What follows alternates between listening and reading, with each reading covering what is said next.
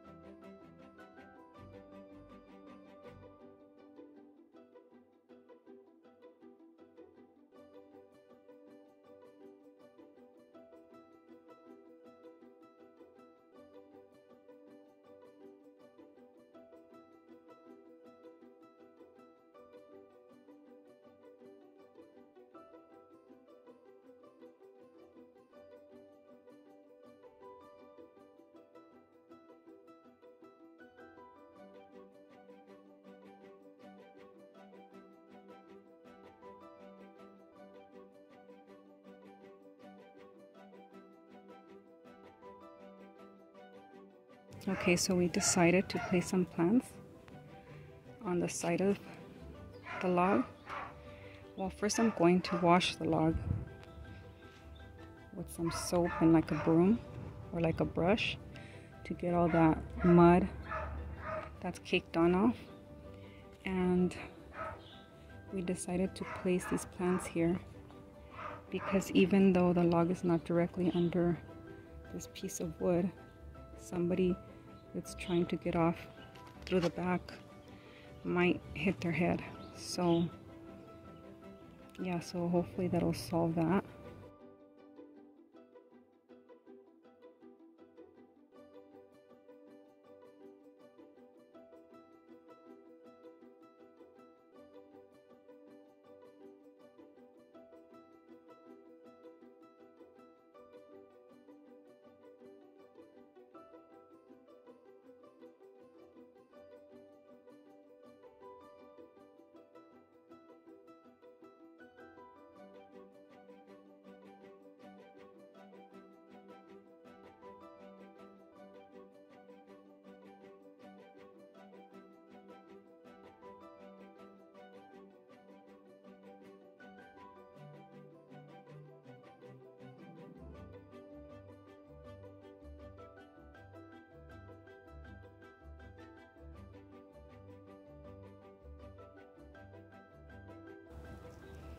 So I ended up planting um, geraniums instead of the other flower that I had. I had two of these. I don't know what these are called. But I decided to plant these because these are easy to care for. And so are the other ones, but I just like the geraniums better. And so this is what it looks like right now.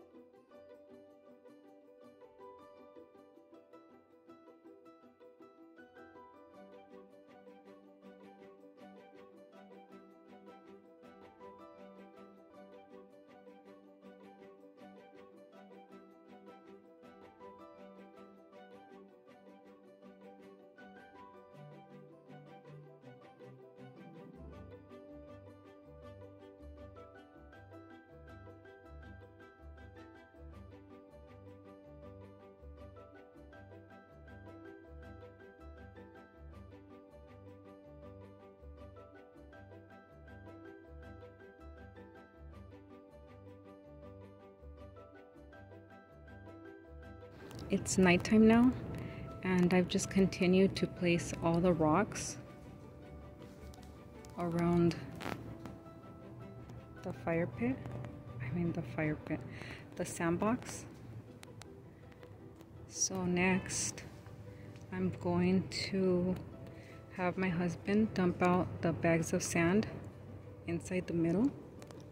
We have eight bags of sand. Hopefully it'll be enough And if not, we're just gonna have to get some tomorrow.